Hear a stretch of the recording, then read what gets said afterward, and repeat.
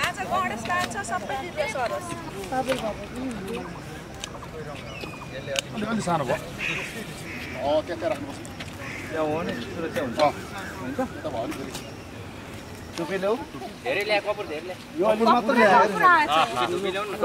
अम्बा पो एउटा रोप्नु। अम्बा सबभन्दा बाख्राले खान्छ बढी। पानी हाल्नु पर्दैन। पानी हाल्नु। भयो। यहीँ हालिदिउँ अम्बा एउटा।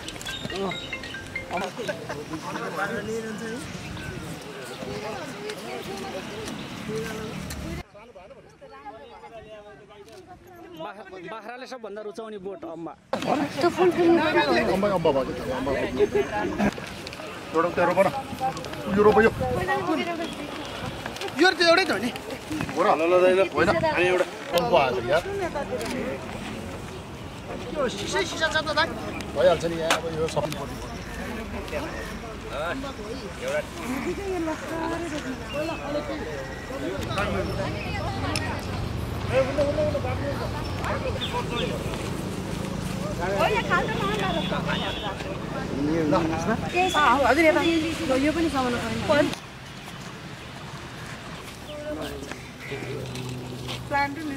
जिल्ला समन्वय समितिको एउटा चाहिँ समन्वयबाट र जेबी फाउन्डेसनको एउटा सहयोगार्थमा आज चाहिँ हाराहारी त पैँतिस सय बिरुवा चाहिँ हाराहारीमा चाहिँ जुन चाहिँ सहयोग आएको छ जुन यसलाई चाहिँ वृक्षारोपण गर्ने क्रममा आज एकदेखि एघारका वडा अध्यक्ष लगायतका सम्पूर्ण कर्मचारी साथीहरू प्रमुख प्रशासक लगायतका सम्पूर्ण कर्मचारी अहिले चाहिँ यो भवनको चाहिँ नजिकै एउटा चाहिँ यो हाम्रो चाहिँ थमाथु पार्कबाट चाहिँ आज वृक्षारोपण गरौँ र चाहिँ यो वृक्षारोपण गर्दै गर्दाखेरि समग्र कुरामा आज चाहिँ जुन चाहिँ देखेका जुन चाडपर्व देखेका त्यसलाई समग्र एउटा चाहिँ वृक्षारोपण देखेको कुरा चाहिँ त्यसको महत्त्व झल्काउने र समग्र चाहिँ हिजोको नारा पनि थियो।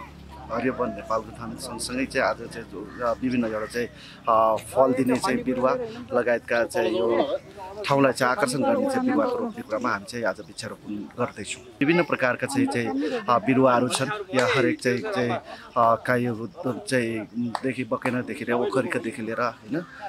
या हरेक किसिमका बोट बिरुवा भएको छ समग्र कुरामा चाहिँ यो वितरण गर्ने क्रममा एक देखेर आज चाहिँ सुरु चाहिँ यहाँबाट चाहिँ वातावरण संरक्षण आवश्यकता छ अहिलेको अवस्थामा किन भन्दाखेरि सब समग्र कुरा चाहिँ त्यो वातावरण हरित नगरपालिका बनाउने हिसाबले पनि आज चाहिँ के छ तारकेश्वर नगरपालिका जुन वृक्षारोपण गरेको छ त्यो चाहिँ फलस्वरूप वातावरण राम्रो कुरा चाहिँ संरक्षण गर्नुपर्छ त्यसैले भएर चाहिँ नेताहरू चाहिँ